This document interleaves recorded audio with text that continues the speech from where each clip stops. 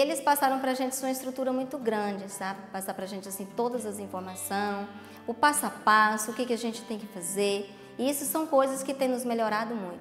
Antes, logo antes da gente ter assim toda essa presença deles na nossa vida, tá nos dando, passando essa sustentabilidade, a gente sentia que a gente não tinha assim tanta resistência. Hoje não. Hoje a gente já tem.